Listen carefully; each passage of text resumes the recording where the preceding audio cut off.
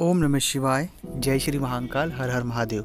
दोस्तों, आप सभी का आपके अपने चैनल में एक बार फिर से बहुत स्वागत है और आपका बहुत आभार है। आप जो प्यार, सपोर्ट आपके अपने चैनल को प्रदान कर रहे हैं, आपका दिल से बहुत धन्यवाद दोस्तों। कुछ अच्छा होने वाला है। जब भी कुछ जीवन में अच्छी चीज़ें होने वाली होती है, उससे पहले ईश्वर हमें कुछ संकेत प्रदान करते हैं। अगर हम उन संकेतों को समझ लेंगे तो जो अच्छा होने वाला है, उसे हम अच्छे से इंजॉय भी कर पाएँगे और उसका हमारे जीवन में फ़ायदा भी उठा पाएँगे। जब मैं बहुत सारे जातकों से बात करता हूँ और उन्हें, उनके जो ऑब्जर्वेशन होते हैं अपनी लाइफ के बारे में कि हमने कहाँ गलती की, जब वो चीज़ें कहाँ सही हो सकती थी, कौन सा मौका था या नहीं था तो उसमें बहुत बड़ी एक बात सामने आई है कि बहुत सारे जातकों को अच्छे वक्त के लिए, अच्छी चीज़ों के लिए बहुत अच्छे मौके मिले, लेकिन उन्होंने गवा दिए। तो मैंने ऐसा सोचा कि शायद आपको भी कुछ अच्छे वक्त मिल रहे हो और आप कहीं गवा ना दें। तो इस वीडियो को पूरा देखकर भगवान कुछ अच्छे संकेत देते हैं, कुछ अच्छा होने से पहले तो उन अच्छे संकेतों को आप पहचानें और पहचानने के बाद अपने जीवन में उनका सकारात्मक फ़ायदा उठाएँ।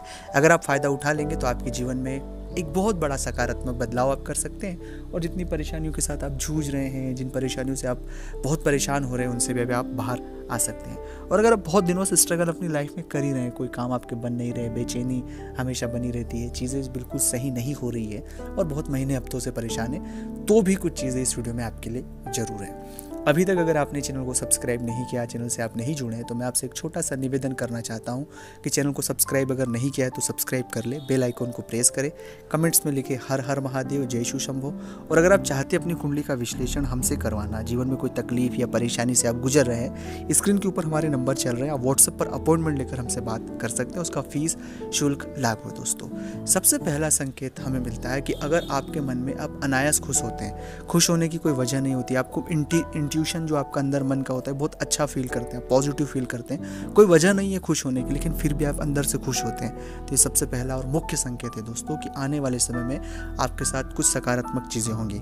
याद रहे कि इस दरमियान खुशी में कई बार व्यक्ति क्या होता है कि गलत फैसले ले लेता है। याद रहे कि दिमाग को इस दरमियान शांत रखना है। शांत दिमाग सही निर्णय लेगा और आपको बहुत फ़ायदा होगा।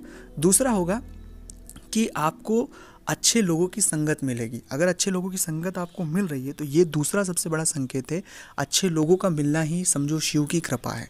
तो अगर अच्छे लोग आपको मिल रहे हैं तो उनका सम्मान करें, उनकी बातों को समझें और वो निस्वार्थ भाव से, अच्छी भावनाओं से अगर आपकी मदद कर रहे हैं तो उन, बिना किसी शक के, बिना किसी भी इस तरह की चीज़ें ना करके और उनके जो बताया वो मार्ग उस पर आप चल दें, आपको ज़रूर फ़ायदा मिलेगा। तीसरा है दोस्तों कि अगर आपके सपने में भगवान भोलेनाथ आते हैं या सपने में आपको कोई पुरातन मंदिर दिखाई देता है तो ये भी एक बहुत बड़ा संकेत है कि जीवन में कुछ अच्छा होने वाली और चीज़ें जो हैं वो बदलने वाली हैं। चौथा संकेत होता है कि अगर सपने में आंग, आँगन में किसी बच्चे की मुस्कुराहट या उस बच्चे को खिलखिलाते हुए देखना या खुश खुश देखना ये भी एक संकेत है जीवन में कुछ अच्छा होने वाला है। ओम नमः